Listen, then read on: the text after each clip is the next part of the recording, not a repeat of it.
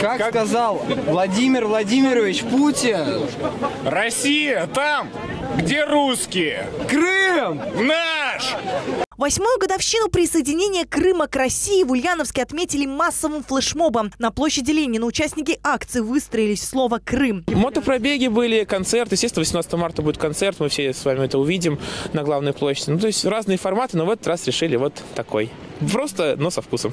Флешмоб поддержали 300 человек. В основном это студенты Ульяновского педагогического университета и летного училища. Среди участников также представители всевозможных общественных движений. Я поддерживаю эту акцию, потому что считаю, что Крым – это исторически российская территория, которая веками должна была принадлежать России. И вот случилось так, что какое-то время она не принадлежала. И сейчас, вот как бы скажем, Крым вернулся в родную гавань. Организаторы признаются, акцию подготовили за сутки сами не ожидали, что будет такой отклик. А многие из участников считают, флешмоб актуален сейчас, как никогда.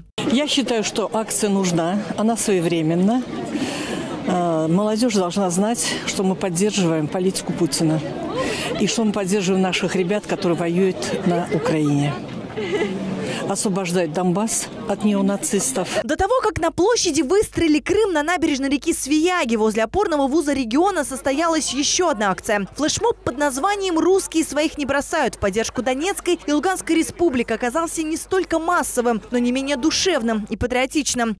Я решил принять участие в этой акции, потому что это очень важная акция для меня, как для гражданина и для нашей страны, потому что я считаю то, что русские своих не бросают. Место для акции подобрали символичное. Мост дружбы, построенный на Свияге возле Улгу, связывает граждан России с народом Донецка. Ведь первая половина моста установлена именно там. Конструкция, сделанная участниками фестиваля кузнечного искусства, символизирует дружбу российского и украинского народов. Акцию поддержали студенты Улгу, общественники и сами переселенцы. Но это очень помогает чисто психологически. Никогда не, не, ну, не чувствовал такой поддержки от такого большого количества людей.